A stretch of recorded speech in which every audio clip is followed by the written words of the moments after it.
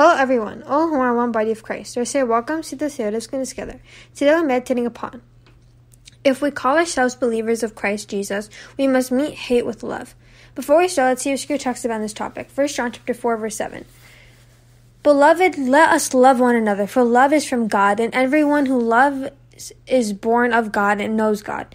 Now let's see if we can learn from the verse we just read. There is too much hatred around us. Even when we don't see that hatred, it always stays in front, walking aside us, or comes towards us in the full force.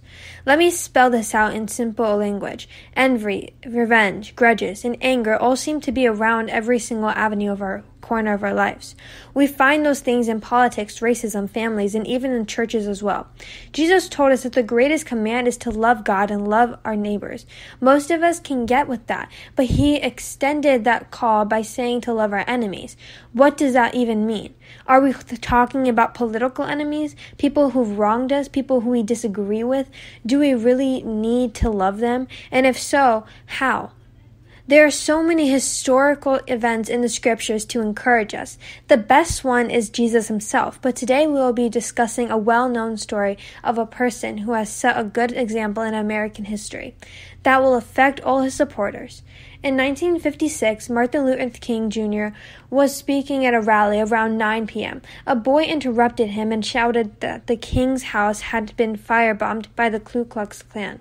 The king ran out of the rally and found his old house on fire.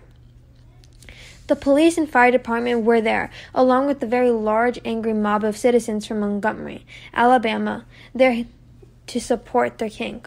They surrounded the house with rifles, baseball bats, and other weapons ready to retaliate. The people were looking to get an eye for an eye. King, the king stepped onto the porch of his home and said these words I want you to love your enemies, be good to them, love them, and let them know that you love them. We must meet hate with love. What are we doing? What we are doing is right. What we are doing is just, and God is with us. God, go home with love in our hearts, with faith, and with God in front, and we cannot lose.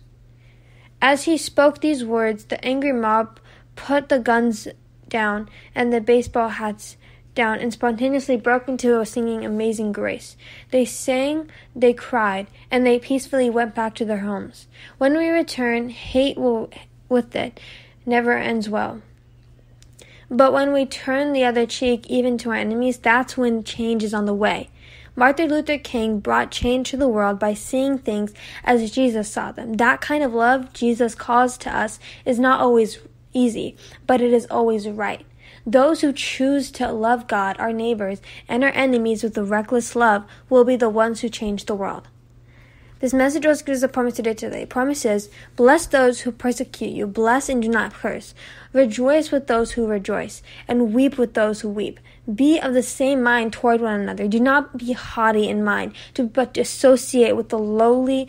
Do not be wise in your own estimation. Never pay back evil for evil to anyone. Respect what is right in all the sight of all men.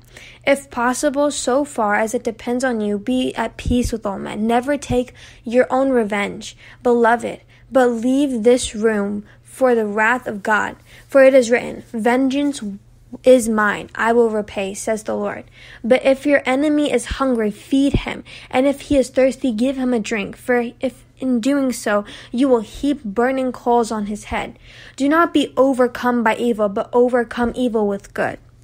Let's close time in prayer together. Please join me in this prayer. Dear Lord, Heavenly Father, mighty wonderful God, Lord, I come before you asking you to soften my heart and give me the capacity to love my enemies. Help me to overcome the challenge we struggle with every day of our life. In Jesus' name I pray, amen. Have a blessed day, one of God's going to talk to you tomorrow.